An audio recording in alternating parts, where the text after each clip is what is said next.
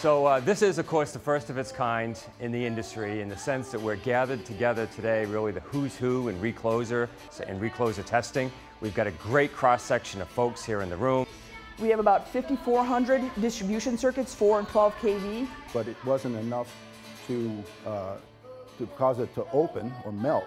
This new system, here's going to be the new steps you go through. Removing temporary faults. Safety and electrical safety is so very important to what we do. Guys can go out in the field and maybe swap the programming of two devices.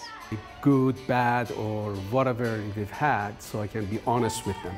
Photovoltaic distributed generation is, is here and is here to stay, is going to continue proliferating. We went through and made sure that all the settings files were available, all the different variations within the RDB was available and was what the customer's looking for.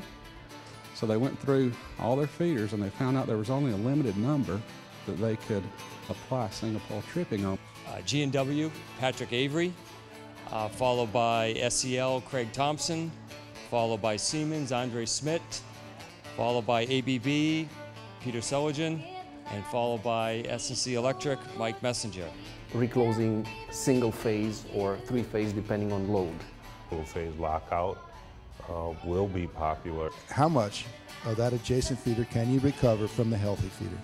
Work with, uh, with you to come up with what works. Developed over the last five years, actually a 61850 base system. We have benefited a lot from those workshops that you know they've been arranged and I was really impressed by the, the, this product, the new release. Sure, am I using? And then it is actually configuring itself. It's starting a circuit breaker simulator.